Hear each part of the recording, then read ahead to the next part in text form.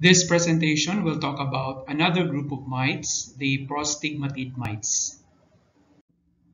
This report aims to know the mite that causes red mange or demodicosis in dogs, learn mite habitat, transmission, pathology, clinical signs, diagnosis, risk factors, treatment and control, be able to compare between localized and generalized demodicosis, and be able to compare the disease presentations of the demodicosis, which includes the localized, juvenile onset, adult onset, and the pododermatitis. The mites can be classified according to the location of its stigmata or the respiratory pores. For the prostigmatid mites, the stigmata are located anterior to the coxae or the hip joint of the first leg. The prostigmatid mites includes the follicle mites, the follicle mites include the Demodex species. This diagram shows a comparative anatomy of the prostigmatid mite, astigmatid mite, and the mesostigmatid mite. For the prostigmatid mite, we have the representative species is the Demodex species. When we are going to describe its anatomy, it is uh, in terms of its body shape, it is very elongate. In terms of its legs, the legs are very stumpy, and in terms of its collection, it can be collected with hair plucking. For the astigmatid mites, particularly the Chorioptes species, its body is considered to be round to subovate, and as you can notice here, there is much space between the third and the second legs.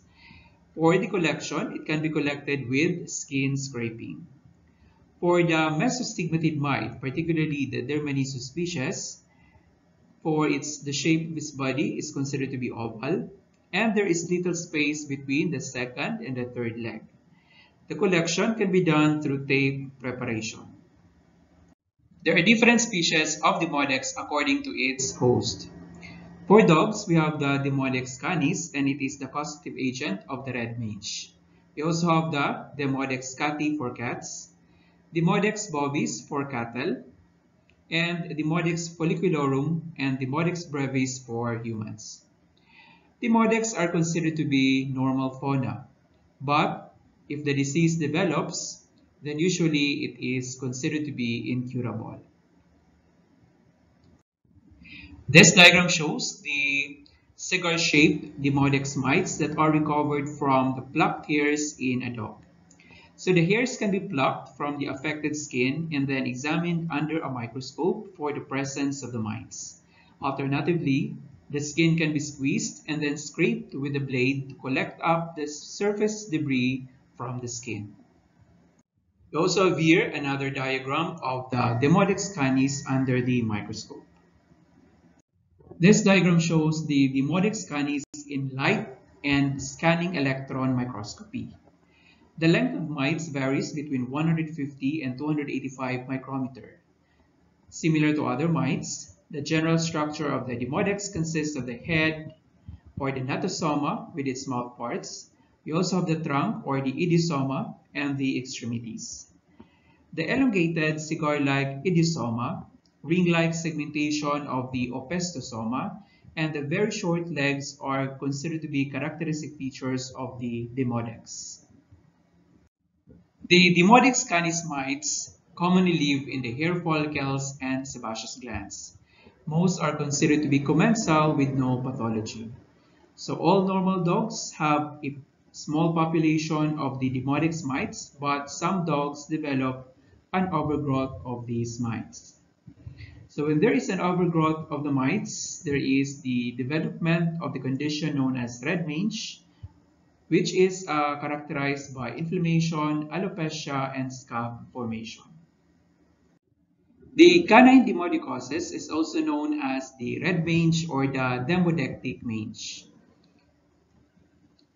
It occurs when a large number of Demodex canis mites inhabit the hair follicles and the sebaceous glands.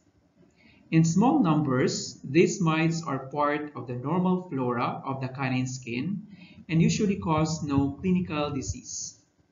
The mites are transmitted from the dam to the puppies during nursing within the first 72 hours after birth.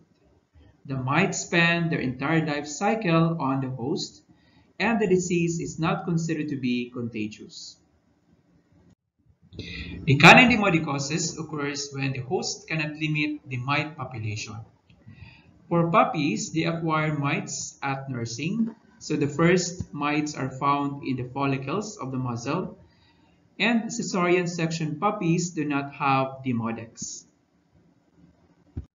There are three major forms of demodicosis that are seen in dogs. These include the localized demodectic mange. We also have the juvenile onset generalized demodicosis and the adult onset generalized demodicosis. We also have another, the demodectic pododermatitis. The localized form of demodicosis is seen in dogs usually less than one year old at 3 to 6 months of age, and most of these cases resolve spontaneously. The lesions often consist of 1 to 5 well-demarcated small areas of alopecia erythema, and scaling. And pruritus may or may not be present. A small percentage, about 10%, may um, proceed to the generalized form of demodicosis. So in terms of its uh, location, the location of the lesions can be found in the face, the cranium, the periorbital, as well as the forelegs. These are the clinical presentation of the localized demodicosis. We also have the generalized demodicosis. For the generalized demodicosis, the prognosis is considered to be guarded. So when we say the uh, a guarded prognosis, that means that the possible outcome of the disease is considered to be unknown. It is also intractable or the, the disease is considered to be hard to control or uh, difficult to deal with. Since it is generalized, so the lesions are, are involved uh, large areas of the body and it is characterized by alopecia, erythema, rancid seborrhea, lymphadenopathy, some hyperkeratosis, and possible pruritus. There is also a secondary pyoderma, and this particular disease is considered to be chronic. These are the clinical manifestation of generalized demodicosis. This diagram shows a generalized demodicosis in a young Staffordshire Bull Terrier female. This dog was found abandoned in the street and systemically ill. Marked lichenification indicating a chronic nature can be seen and the erythema of the legs and face is strongly suggestive of the diagnosis. Erythema is a type of skin rash caused by injured or inflamed blood capillaries. So this is a flank of a two-year-old West Highland White female dog illustrating an extreme example of red mange. The dog had not been diagnosed initially, allowing the disease to become generalized. There are many pustules, some exudation and marked yellow crust, all indicating secondary pyoderma. You also have a young male entire Staffordshire Bull Terrier with generalized demodicosis. So there is a generalized alopecia. Now, this was a chronic case with hyperpigmentation uh, as seen here as a slate blue color which is highly suggestive of the disease. Cytological examination didn't reveal secondary pyoderma, and the dog was treated with moxidectin imidacloprid weekly for 8 weeks. We also have the juvenile onset generalized demodicosis. This is a result of an inherited immunologic defect with functional abnormality associated with a cell-mediated immunity. It is considered to be a severe disease of young dogs with generalized lesions. So the lesions include erythema, papules, alopecia, oily seborrhea, edema, hyperpigmentation, and crust. There is also an accompanying pododermatitis. So dogs can have systemic illness with generalized lymphadenopathy, lethargy, and fever, when deep pyoderma, furunculosis, or cellulitis is seen. Diagnosis includes the deep skin scrapings, hair plucking, typically revealing uh, mites, eggs, and larval forms in high numbers. This is a clinical manifestation of the juvenile onset generalized demodicosis. Another form is the adult onset demodicosis. So this form is considered to be an event-mediated demodicosis.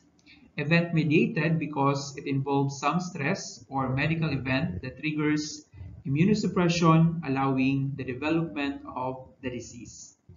This is often transient depending on the dog's immune status. We also have the demodectic pododermatitis. So this is also known as the digital interdigital and plantar disease. And this is always complicated by secondary bacterial infection. This is a diagram of the demodectic pododermatitis in a three-year-old West Highland white female dog. So this was chronic, uh, chronic di undiagnosed case that had begun two years previously and was therefore considered a juvenile onset. So we have here uh, the gray hyperpigmentation, which is highly suggestive of demodicosis, which was confirmed with hair plaques.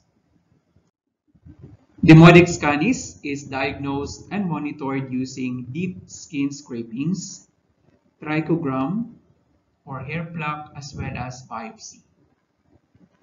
Diagnosis can also be done through fecal flotation, revealing an asymptomatic or localized infection.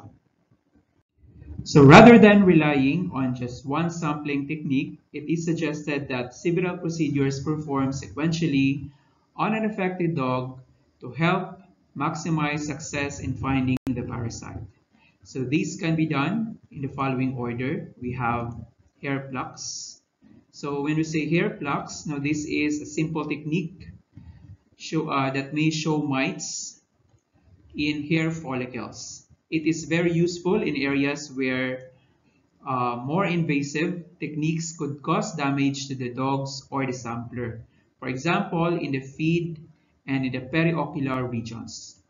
We also have the adhesive tape preparations. So the tape strips are pressed against lesions and the tape is transferred to a microscope slide. This is another useful non-invasive technique in difficult to sample areas, but also where secondary infection has produced an exudate. We also have the impression, impression smears with a glass slide. So these are often successful where there are exudative lesions. And lastly, we have the skin scrapings the first or the skin is squeezed first and scraping is performed in the direction of the hair follicles using a scalpel blade. The area to be scraped may need clipping after which liquid paraffin is applied to the skin surface. This enables material to adhere to the blade. Deep scrapings causing capillary ooze are necessary. These are the risk factors associated with Demodex canis. So first, we have immunosuppression, malnutrition, neoplasia or cancer with chemotherapy, and the presence of the endocrine disease. In the case of the adult onset demodicosis, so we need first to cure the immunosuppressive issue and the demodicosis should resolve.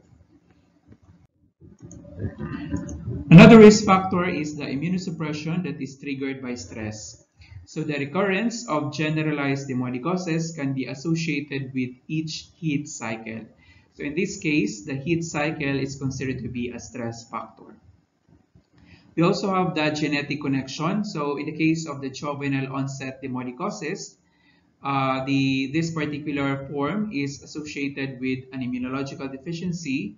So these, there are certain breeds of dogs that are more prone to the development of this particular uh, disease form of demodicosis. Treatment options for demodicosis include topical, oral, and rinse treatments. Example of this is the topical moxidectin that can be applied weekly. We also have the daily oral milbemycin, moxidectin, or ivermectin isoxazoline products. So example of these uh, brand names are the Bravecto and the NexGard. We also have the rinse preparation. We have the amitraz, weekly or bi-weekly. The secondary pyoderma can be treated with topical or oral antibiotics. So the deep skin scrapings can also be used to monitor the treatment success. So when there is a remission, we can continue further the treatment for another 4 to 8 weeks. So it is important to note that clinical cure without parasitic cure is uh, a factor for the recurrence. So elimination of all the mites is considered to be difficult, so extended treatments are needed for this particular uh, type of parasitic infestation. So the control of demodicosis is considered to be an added benefit for heartworm and flea prophylaxis with macrocyclic lactones and isoxazolines. Spay-neuter can also be considered with demodicosis. This is because immunosuppression can be due to stress and heat cycle is a stress factor. We also have the hereditary link. So there are some dogs which are more predisposed to the development of juvenile onset demodicosis because of a immunological defect and this is uh, considered to be hereditary in nature.